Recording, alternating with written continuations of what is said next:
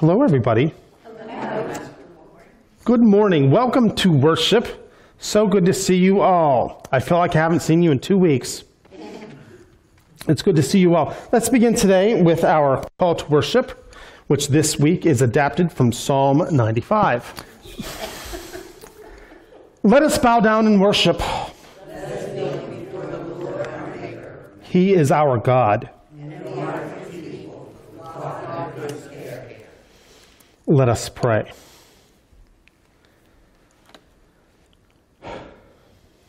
Lord God, you love us and you call us to love you. You show us great compassion and patience. Yet we fail to have compassion and patience with those struggling and in great need. We see them as less than us. We see them as obstacles in our way. We see them as drains on our resources. We fail to recognize our shared need for grace in every day, every hour, and every minute. Forgive us for our pride, self centeredness, and ability to see things as they really are. Renew and restore us as followers of Jesus Christ who are saved by grace and live each day by grace. Through Christ we pray. Amen.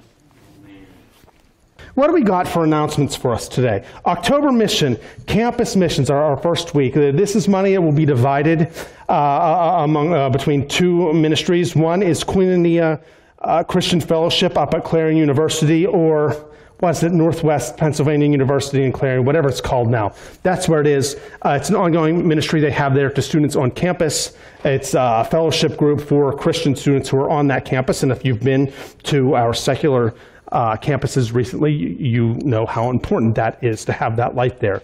So that goes to support them, but it also, part of it goes to the Believers in Christ Club or the BIC Club at Karn City High School, uh, which is a prayer and Bible club that meets there regularly. Let's see what else. Um, you got to hear from Kayla last week, huh? I hear that she she had uh, some interesting things to tell you. I'm, I, I wished I was there to hear some of it, but you, you, you got the full spectrum of everything they're doing, uh, didn't you? So so I'm grateful that she was able to come and and talk to us about that. So when we give to that. Uh, we consider it a mission. As you probably figured out, it's not a Christian organization, uh, but it is an organization we support as Christians. So now you know a little bit more about it. Uh, this week, Bible study, 10 a.m. We're talking about, I don't know what. I was on vacation last week, so give me a break here, folks. But this, this, this Thursday, 10 a.m. Bible study. Uh, and don't forget, we are collecting full size candy bars for trick or treat, which I just found out this morning is indeed on Thursday, October 31st, starting at 5.30 here in town. Uh, so, uh, that's what we got coming up. Anything that I, that I missed? Thank, thank the people for coming and, and decorating the sanctuary this week. It looks, it looks wonderful. It's always good to see. Come and be festive. Let us pray. Dear God, our Heavenly Father, we do thank you so much for today. We thank you for the sunshine. Uh, we remember it's October, God. We're usually cold, and we were cool this morning, but we look forward to the warmth of the afternoon, God, and, and just we see the leaves falling on the ground, and, and we, we see how you, you change seasons, God, and we're just reminded how awesome this world is that you created. You created for us to live in, you created for us to tend, uh, created to be a home uh, for, for us as, as, I guess, the pinnacle of your creation, God uh, not by anything we've done, but because we are created in your image. And so we do thank you for all of that. We thank you for providing for us and giving us uh, peace in, in our time. And we, we thank you for uh, giving us everything we need, God. Most of us have more than we need, and it's all provided uh, one way or the other from your hand. And we say thank you uh, for this extra grace that you always give us. God, most of all, we give you thanks for your Son, Jesus Christ while we were still sinners, He died for us. Let us never forget that, God. Let us never forget to be grateful. Let us never forget to live according to that. Uh, when the world assails us, sends horrible things at us, when we are troubled, when we are downcast, when we are depressed, when we are saddened by the events that, that beset us in this world, let us turn with joy and remember your Son, Jesus Christ and what he has done to prove his love for us. Let us always know that no matter what, let us understand more fully how much you love us in every single moment, Father. Let that be what calls us out of sin, God, as we repent and we turn from it uh, because we love you. We are so grateful for what you have done for us. God, help us to live lives according to the grace that you have shown us, according to uh, the position you have already put us in as, saved uh, saints, followers of Jesus Christ.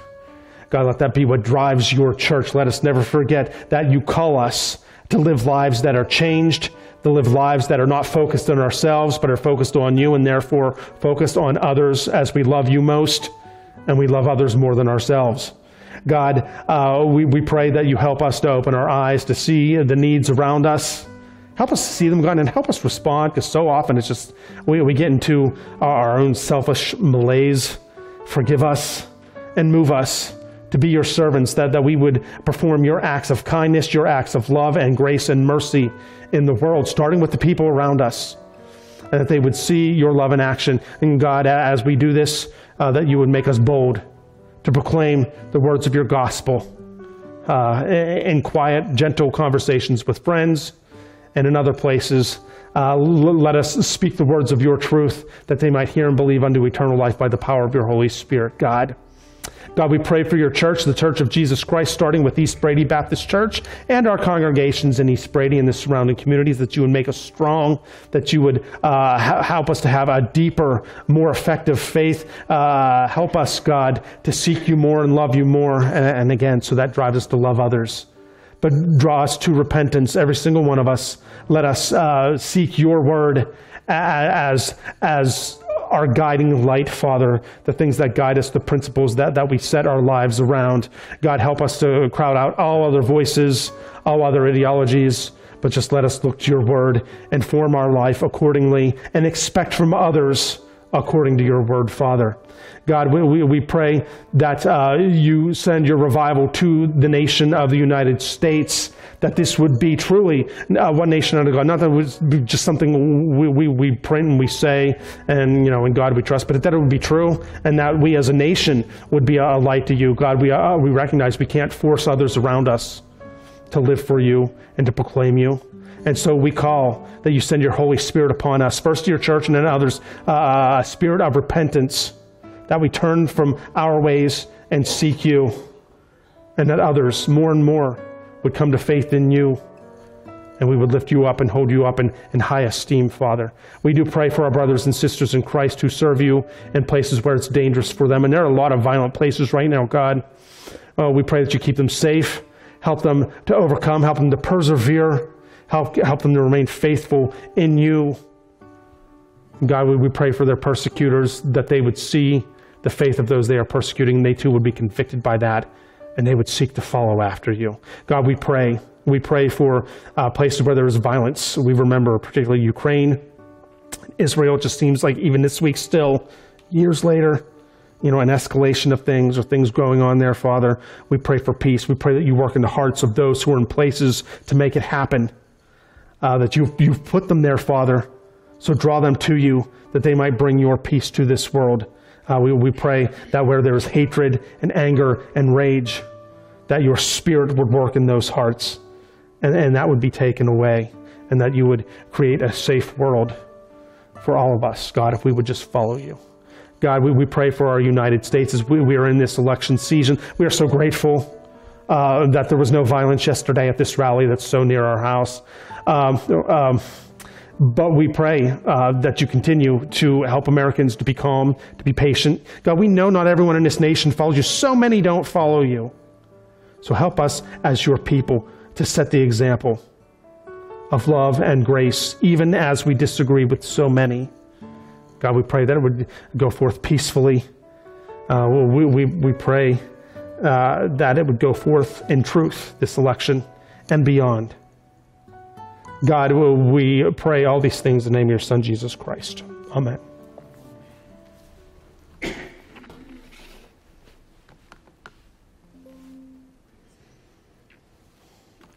Well, we're back in the book of Acts, chapter 19, starting at verse 11. You see, this threw you off because it was Ephesians, didn't it? Yeah. No, we're in Acts chapter 19, starting at verse 11. God did extraordinary miracles through Paul, so that even handkerchiefs and aprons that had touched him were taken to the sick, and their illnesses were cured, and the evil spirits left them. Some Jews who went around driving out evil spirits tried to invoke the name of the Lord Jesus over those who were demon-possessed. They would say, In the name of the Jesus whom Paul preaches, I command you to come out. Seven sons of Sceva, a Jewish chief priest, were doing this.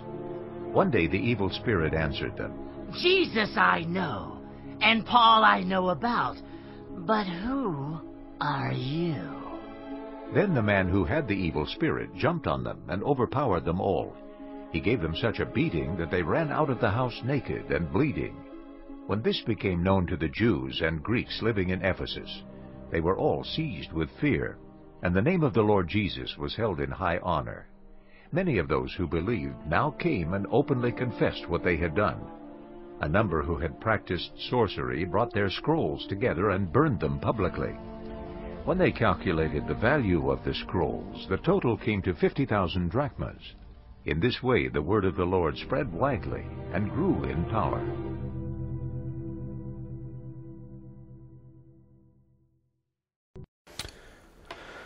Well, I think it is fitting that as we make our way through the book of Acts, we come to this passage right now, right today, the first Sunday of this month, which in our society is often thought of as spooky season. Have you heard people refer to it as spooky season? And I mean, it's fun sometimes to be spooked a little, to be scared a little bit in a safe, contained way. You know, this is the month in our culture we kind of indulge in that. The season kind of beckons us into that.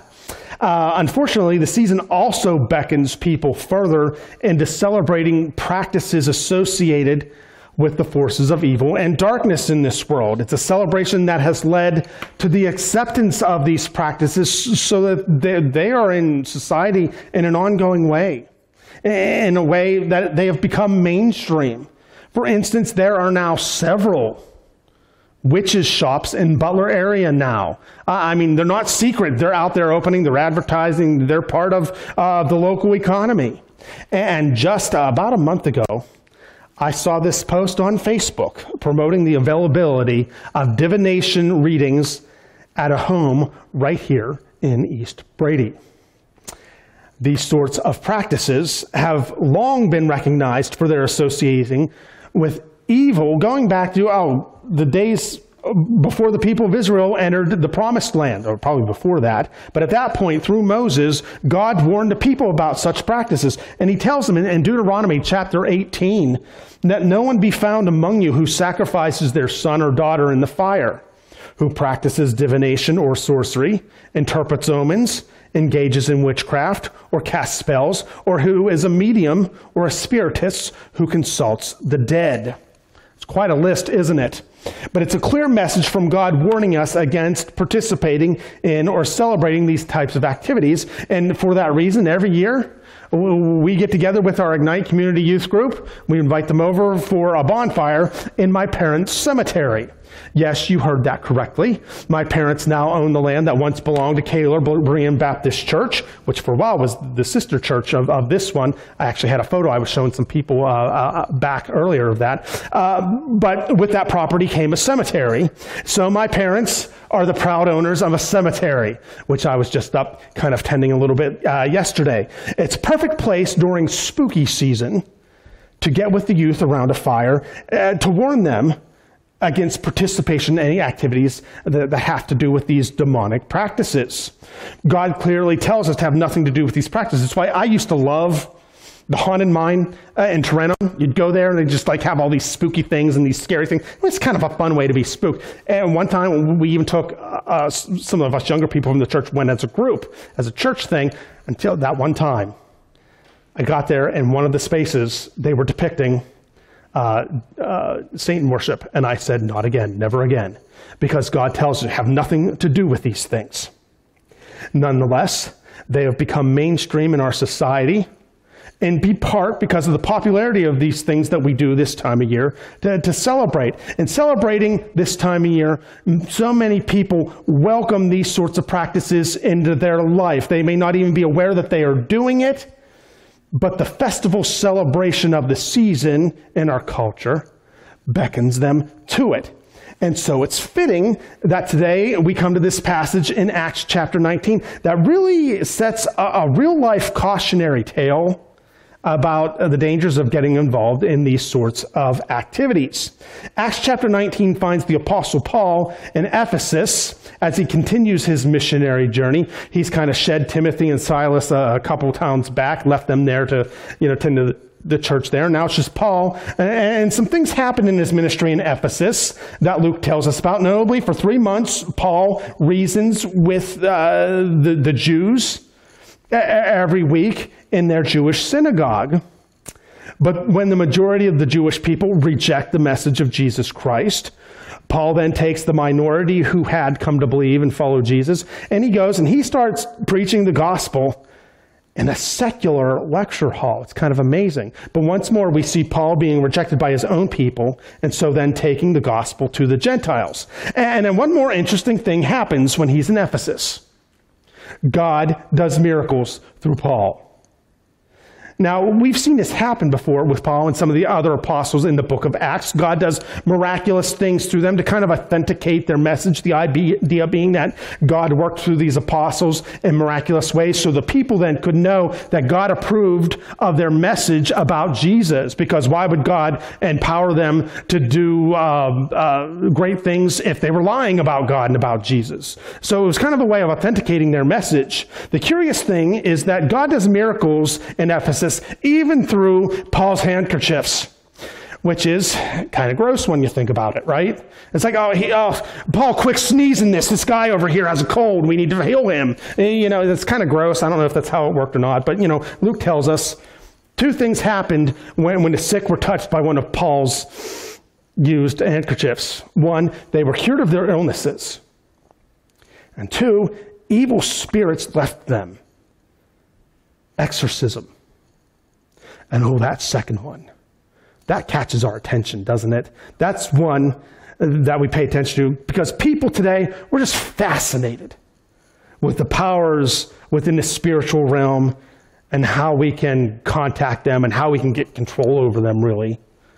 That's why every one or two or three years at the most, there is a new hit exorcism movie. So people are just fascinated by the topic now.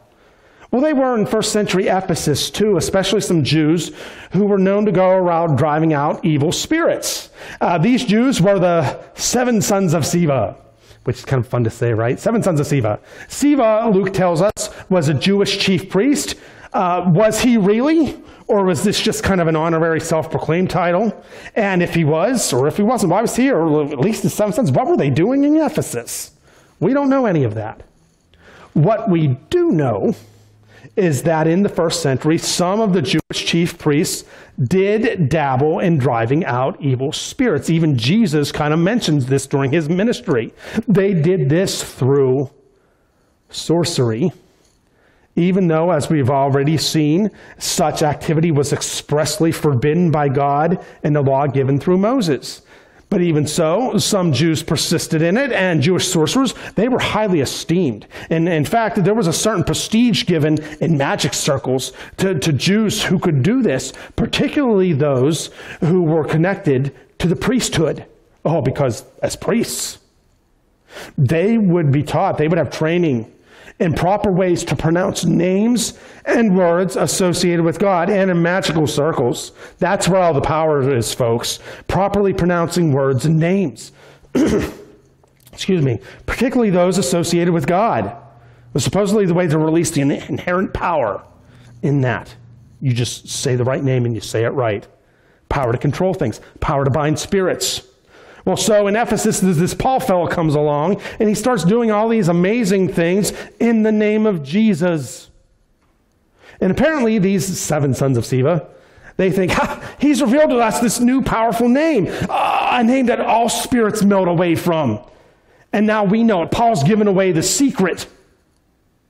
Secret magic. So, so these seven sons of Sceva, they go and they, they try to use the name of Jesus over those among them who are known to be demon possessed. At one point, they encounter a demon possessed man and they declare, In the name of Jesus, whom Paul preaches, I command you to come out. Notice that these seven sons of Sceva do not take any ownership of any sort of any sort of faith or belief in Jesus. They don't say in the name of our Lord or even in the name of the Lord. It's just like in the name of Jesus, whom Paul preaches. If anything, they're, they're kind of trying to, to, to invoke Paul or some power Paul might have. They think that the power to command evil spirits is merely in saying the name Jesus as if Jesus' name is quite literally a magic word. You remember when you were little? You were told, say the magic word, please. You get what you want. And it was like here they kind of think, hey, say the magic word Jesus, and these demons will give you what you want. but that's not what happened at all here, is it? I mean, what happened is, first, rather than obeying them, the demons argue back to them, which people? This is something you never want. You never want to hear a demon speak back to you. You know, some people think, oh, wouldn't that be neat? No. You know, we're just a small congregation here, and there aren't many of us, right? But there are multiple people here who can tell you real life stories about demons speaking back to people, and it's outright terrifying.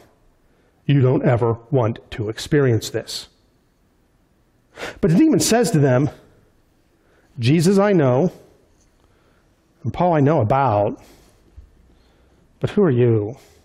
I mean, the literal translation from the original language is Jesus I recognize, and Paul am I acquainted with, but who are you? He's like he's saying, Jesus I know through direct interaction and experience. That's what the word means. Uh, all the demons know Jesus in this way. They actually know him through direct experience because Jesus is the Son of God. He's their master too. They don't like it, but he is. They know him. Paul, I understand. I've heard of him. I know what he's about. I know enough to know I should probably stay away from him. But you? You're nothing to me. Uh, the demon's pretty much saying to them, Who are you to tell me what to do? And then the demon possessed man attacks them. The demons go after them, which again, it's utterly terrifying when you think about it. They had sought out and through their own actions released this demon into their midst. And now when it attacks them, they've got no way to stop it. And it seems to me they get off easy, being just overpowered and beaten so that they run from the house naked and bleeding. They're so terrified that er, it's everything in them, just this scramble and scurry to get away, fleeing for their lives so desperately that they don't even care now that they're running down the streets naked as they're bleeding. They just want to get out of there.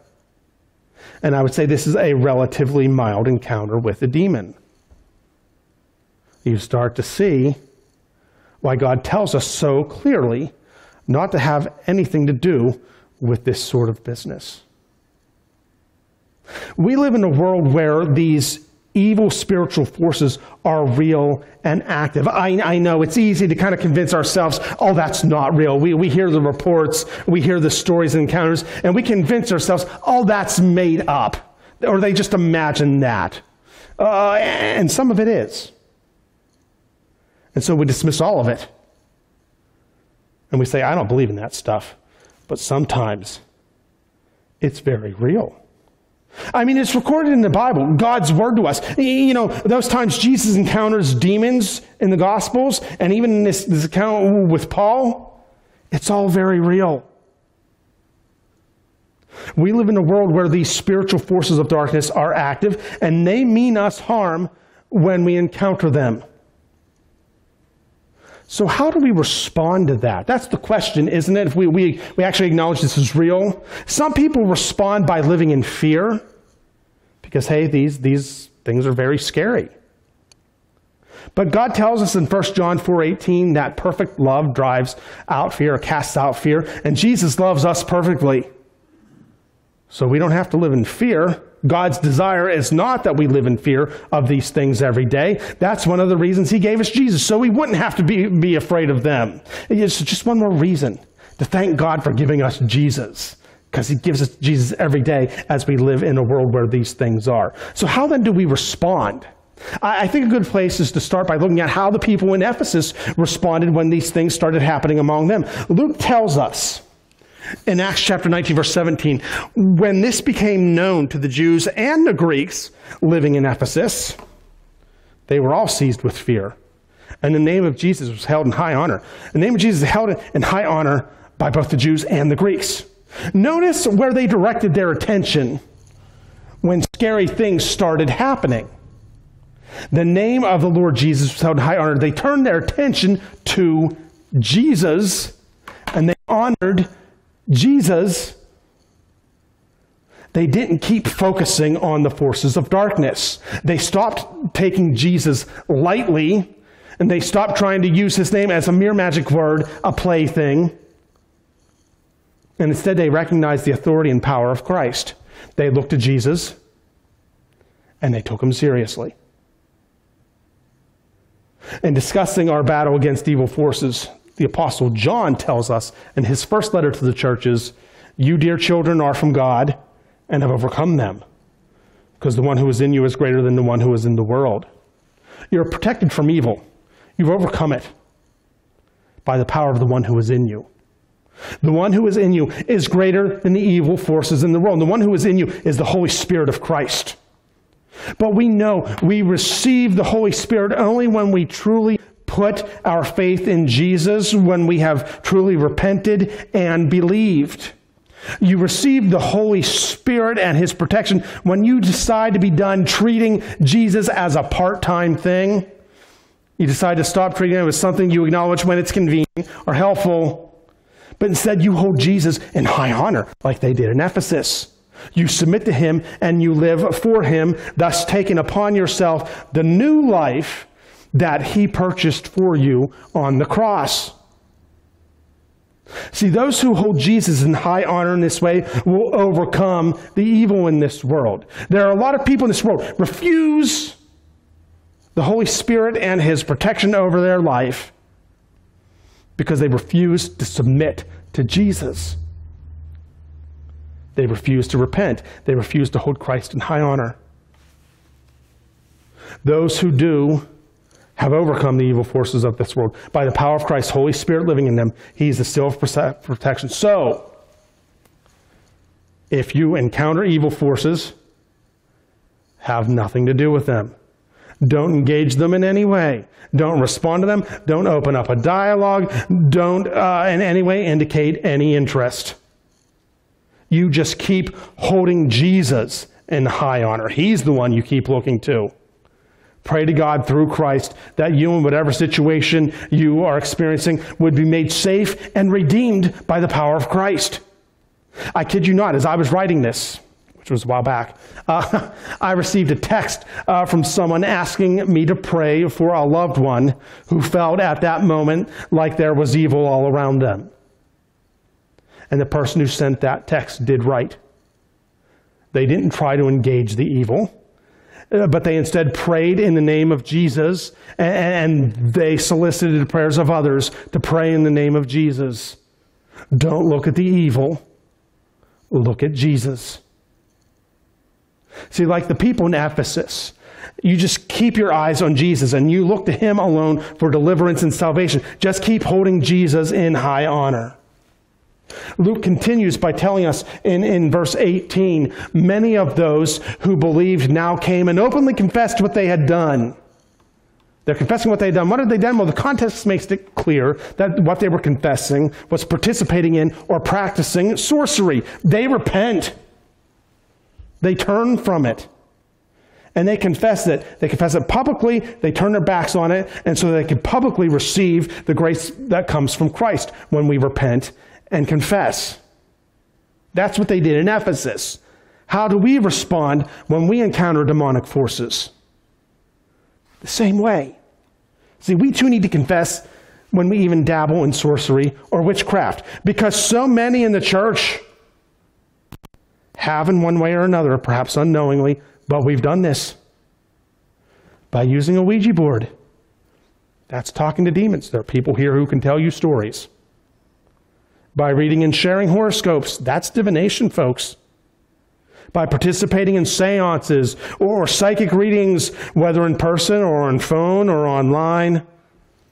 By using crystals or drinking potions as a means of protection uh, to gain power, spiritual power in this world. All these things are commonplace in our society. They are all associated in God's word with the kingdom of evil.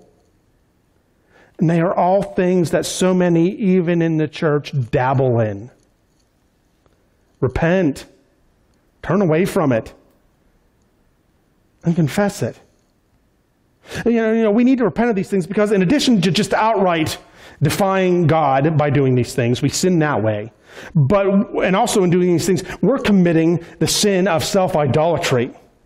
Because when, we participate in these things, we're setting ourselves up as God. Do you recognize that? Here's what goes on. People participate in witchcraft or seances or psychic readings or horoscopes, other such practices for two reasons. Truly only one, but, but two reasons.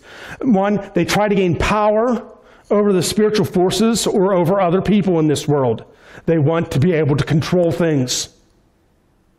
Or two, because they think if they can have divine knowledge through these vices, they can then take steps to protect themselves from what would otherwise be the unknown. You see, it's all about control and power. That's what people want.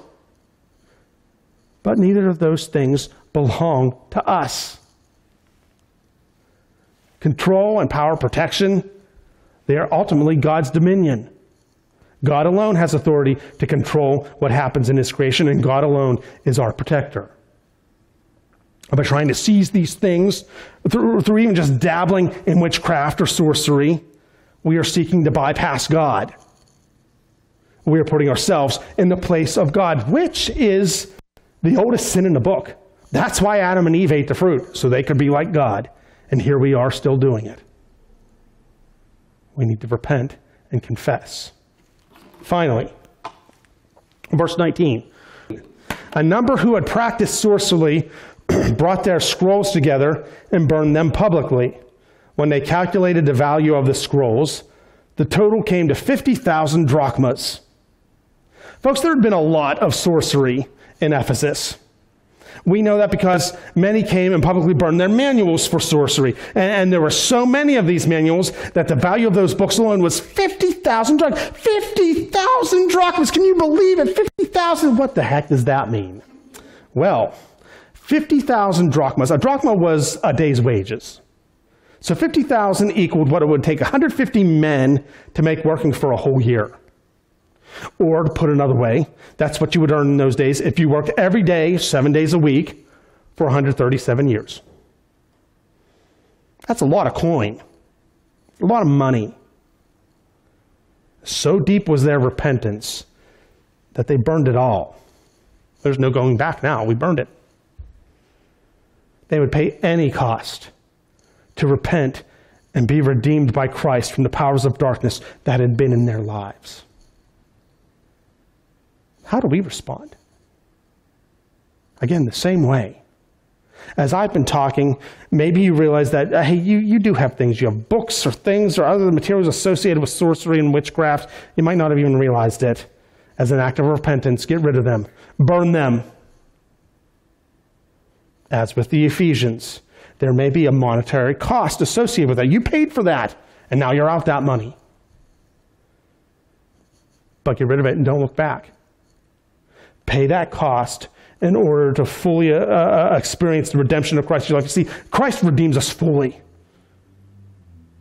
But so often we're holding on to things that keep us from experiencing the fullness of that redemption. But for most of us, let's be honest, the true cost of repenting in this way is relational.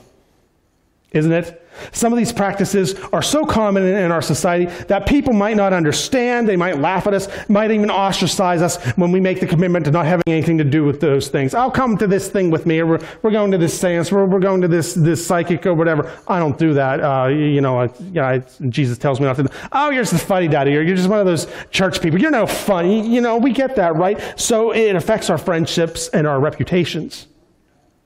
More than money, that's the cost we pay for having nothing to do with these deeds of darkness. That's the same as us burning our scrolls. But hey, closing, real fast. It all comes back to this holding Jesus in highest honor. Is Jesus higher to us than what we stand to lose by doing by having nothing to do with these things? Is Jesus higher to us than what we gain by participating in these things? See, when we put Jesus first, we overcome because greater is he who is in us than he who is in the world. Let us pray.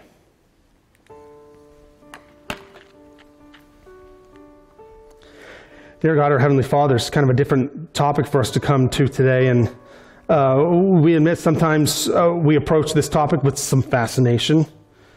And some of us approach it with fear, maybe some, some of both. But God, we, we look to you as our Redeemer, as our Savior, as our protector, uh, as the one who, who, rules over all of creation. As we look to these things, oh, we acknowledge uh, that uh, we have no power against them even though they're very real. But God, we, we know that you do, that you're the authority over all of it. And so we step back and we once more we recommit ourselves to Jesus Christ and his authority, especially when it comes to these sorts of topics that we talk about today, God. Forgive us for times when we've uh, kind of put our foot in that ring and dabbled in them. Deliver us from any impacts that that might have brought into our lives. And help us to just keep looking to you and turning to you as we go through this world, a world in which these things are real. Let's just keep holding you high above everything else. We look to you, Jesus, and you alone. Amen.